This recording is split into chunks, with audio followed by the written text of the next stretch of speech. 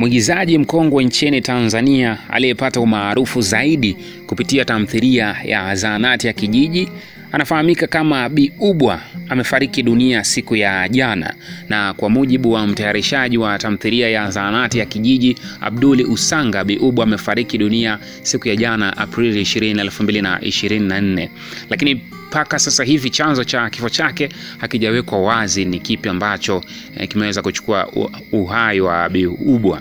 Lakini kwa upande mwingine eh, mbali na Zahanati ya Kijiji, Bi Ubwa aliwahi kuwika au kushiriki katika tamthilia mbalimbali ikiwemo Nuru, Penzini, Sim na tamthilia nyinginezo nyingi, lakini wengi wamekuja kumfahamu katika tamthilia ya Zahanati ya Kijiji ambayo inarushwa Azam TV. Lakini uh, tukizungumzia tamthilia ya Nuru, ni moja kati ya tamthilia ambayo hata kwa upande wa jiji la Arusha kuna baadhi ya characters, yani wale wahusika wa kwenye hiyo tamthilia ya Nuru walitoka na wakaenda Dar es Salaam, wakaenda kushuti au kujoini kwenye E, tamthilia hii ya Nuru na kuendelea kuiweka e, vizuri, kuendelea kuiweka on top tamthilia ya Nuru na kuwa ni tamthilia bora kabisa. Mmoja wa washiriki ambao walitoka Arusha wakaenda Dar es Salaam, lakini kufika kule wameenda kwa mambo mengine, lakini mwisho wa siku kufika kule e, wakakutana na hizi harakati za kuingia kwenye tamthilia ya Nuru ambao pia Bi Ubwa alikuwa anashiriki. Ni mchekeshaji lakini pia ni msanii. Anaitwa Markuba Majanaba kutoka hapa hapa Arusha, na leo kamera za Kiswahili TV zimemnasa maeneo fulani hivi ya mjini mjini pale katikati. Unajua Markuba ni mtu fulani hivi wa misere mingi kwa hiyo kamera za Kiswahili TV tumemnasa na tukaweza kuzungumza naye kidogo, na akatupa maneno yake machache kuu eh, baada ya kusikia tukio la eh, msiba, tukio la Biubwa kufariki. Wakati wao wote Markuba Majanaba pamoja na Biubwa walikuwa wanashiriki katika tamthilia hiyo, Maona. Kwa hiyo baada ya kushiriki eh, Biubwa kwenye tamthilia ya Nuru alikuwa ni mganga, lakini pia msaidizi wake ndio alikuwa Markuba Majanaba. So baada ya ku kumpata Marikuba Majanaba na kupiga naye story. Haya ndiyo yalikuwa ya kwake wakati alivyokuwa akizungumza na kamera za Kiswahili TV. Mambo vipi? Asi hata kwere ndugu yangu. Ah. Pole sana kwa kifo cha Bi Ubwa kama mtu ambaye pia mlifanya naye kazi katika ile movie. Movie ilikuwa inaitwaje ile? Movie ilikuwa inaitwa Nuru ni ya Moyo. Aisee, pole sana.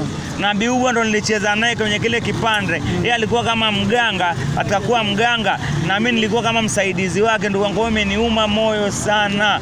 Na katika kuniuma, siwezi sema kwamba nitamrudisha Biugwa au nasemaje?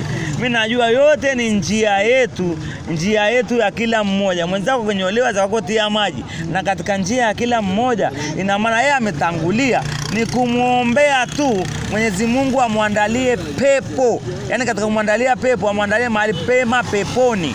Ndio hivyo biubwa, wewe mbele si nyuma, hakika tutakumbuka daima kwa muvi ya Nuru. Mungu akulaze mahali pema peponi. Bwana ametoa na Bwana ametoa, jina lake libarikiwe. Amina. Biubwa Marikuba, salamu zangu za rambirambi hizo zikufikie. Kama kuna wakali jamani, hata katika katika hii nani ambao watakayoiona Kiswahili TV, kama mnaweza kunisapoti hata nauli, naruka Dar es Salaam kwenda kwenye mazishi ya Biubwa na katika kumsitiri katika nyumba yake ya milele. Akia Mungu ile mkinibariki nauli nafika kabisa, na Mungu abariki. Na ninajua kabisa na, na director wetu alikuwa anaitwa Efraimu Mato. Jamani, salamu za rambirambi marikuba na ziwafikie Efraimu Mato ambaye alikuwa meneja wetu ambaye alikuwa unatulipa. Mungu Mungu awape moyo katika swala hili na katika jambo hili la huzuni kubwa. biubwa. Mungu akupumzishe salama,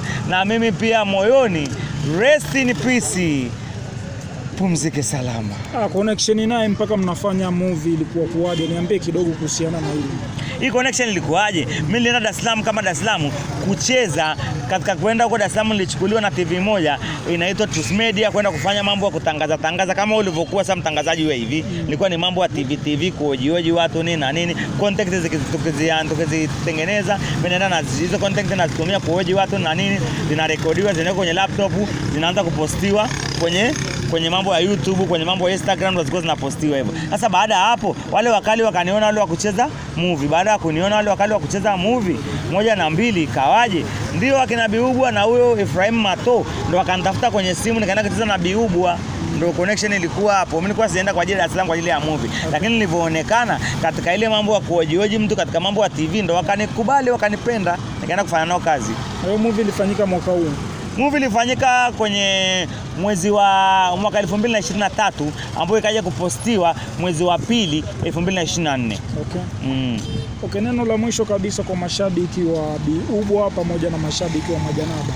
Jamani, nawaambiaje washabiki wa Biubwa, msikate tamaa. Ina maana Biubwa yeye ameondoka, lakini ameacha sumu. Na maana kuacha sumu ni nini? Ameacha zile video zake bado zinacheza, na tutamkumbuka kwa video zake na kwa mambo yake mazuri, na yeye ni hekta mzuri na ni mkali wa wakwali, na alikuwa anakuja juu hivi. Jamani, ni superstar jamani. Biubwa jamani, tutakukumbuka na washabiki wake, msikate tamaa, na vizazi vingine vilivyobaki na wengine waliobaki katika movie ya Nuru wanaendeleza kombe. Yule biubu atapumzishwa kwa amani, lakini itakuwa ni machungu. Lakini ndio hivyo, naambia washabiki wasikate tamaa, waendelee kumwombea Mungu, na katika kuomba Mungu amna atakayedumu milele, ila sisi tutaondoka na wengine wataendelea kuishi na wengine wataendelea kuzaliwa. Ina maana kizazi kama kizazi kizazi kizazi kitazaliwa na kitaondoka. Ina maana kio kizazi cha tatu cha kwanza cha pili cha tatu na cha nne, na maana katika hao, lakini Mwenyezi Mungu anawarehemu wale, wale, wale maelfu